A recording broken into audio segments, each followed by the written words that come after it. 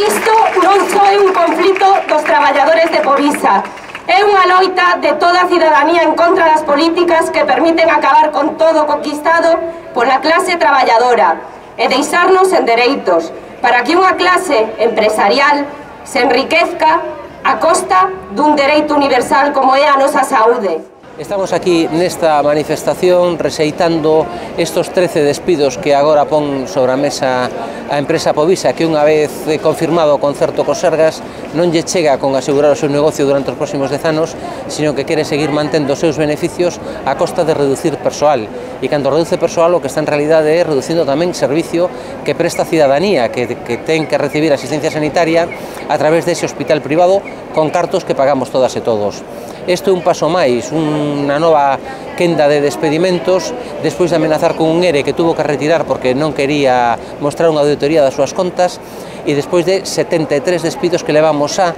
eh, acumulados nos últimos anos. O primeiro despido comezou no ano 2009, despido de, de Chelo, que era presidenta do comité de empresa. No ano seguinte, no 2010, hubo 15 despidos de compañeros de, de arquivo, no 2011 27 limpadoras, No 2012 hubo, hubo algún ERE, hubo presentación de algún ERE, de un ou de dous eres. No 13, aplicación do convenio provincial, estivemos unha semana por el tema da reforma laboral e pola la ultratividade. Tivemos 15 días co convenio provincial, que o tumbou o xulgado, e a movilización e as folga, folga que fixemos no 2013. En setembro de 2014 se firma o concerto Sergas, e despiden a 15 compañeiros que en teoría estaban en fraude de lei e deberían estar traballando. E ahora no 2015 nos presentan un ERE de extinción de 56 compañeiros, o último día da negociación a empresa o retira, e, e a semana seguinte presenta estes 13 despidos que temos ahora, que o lunes son efectivos todo isto, todo este camiño, o tema das, me quedou das quendas, hubo modificación das quendas, hubo reduccións de xornada de compañeiros, coaccionadas, levamos en total desde o ano 2009 hasta 2015 con unha conflictividade pois eh, seguida. Xa estamos fartos de tanta ameaza, coaccións e despidos desta dirección. Non nos van a amedrentar, Tamén estamos fartos de que a Inspección de, Traba de Traballo non sancione. Dos ergas por permitir a precariedade asistencial e laboral, da Xunta por premiarlles a pesares da disminución, da disminución de persoal e da calidade asistencial, e incluso os xulgados que non lles obriga a cumprir as sentenzas.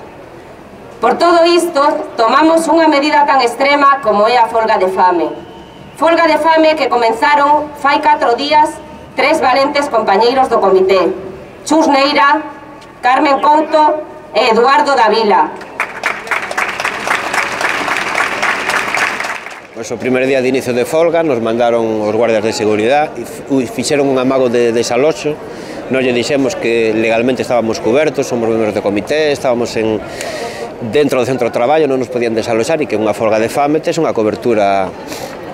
Ese foi o primer día. O segundo día, o consellero delegado se persona diante das compañeras e compañeros que están folga de fame, se solidariza con eles, lles dice que o que faga falta, que está preocupado pola súa saúde. E o día seguinte vamos a facer unhas analíticas, vamos a unha planta a buscar un aparato para controlar a glucemia,